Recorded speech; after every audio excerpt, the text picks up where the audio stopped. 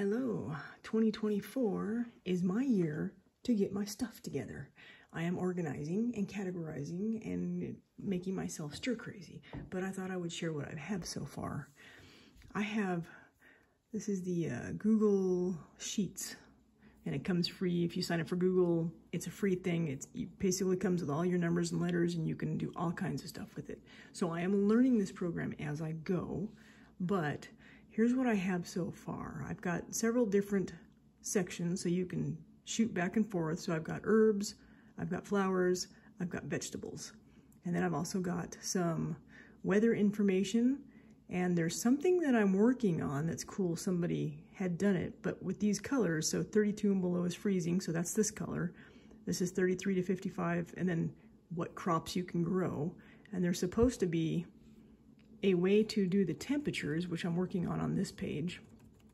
But as you put the temperatures in, it changes it to that color so that you know, you know, basically what you can plant at that time. But that's in the background right now. So right now, I'm kind of working on vegetables. So this is all the seeds. Well, I shouldn't say all the seeds because I'm not done yet, but these are all the packaged seeds that I've put in so far. So I've got what the vegetables are. I've actually got a picture of the seed package, which you have to go through several steps to actually view, but you can open it up and see, okay, well, that's who it is and where it came from.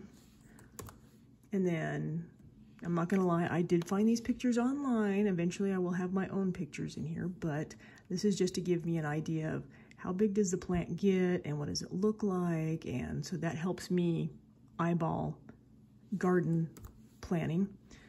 The green section is what I have so far as far as the planting information, um, when to sow, how long to maturity, does it need sun and shade, spacing, etc., etc. I've just got some uh, little miscellaneous notes over here. Like for the two top ones, I actually planted those last year, so we'll see how those go. Um, I've started a section on companion planting. So the green is go, basically, yes, plant these with the plant so I can go across and go, okay, what goes good with this plant? And then the red is obviously no, so avoid planting these together.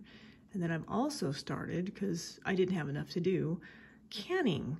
So basically anything that I can can, so I've gone down and what is it, what, what's it good for? I can can it, is it better fresh? Uh, you can freeze it, you can dry it, so how you preserve it.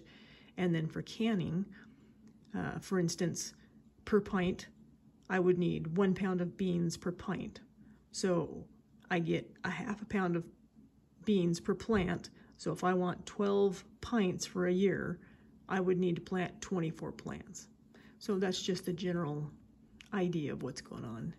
Anyways, uh, if anyone's got any tips or thoughts or ideas, I would love to hear them. Uh, that is it. I just wanted to share. All right. If you got any questions, let me know. Bye.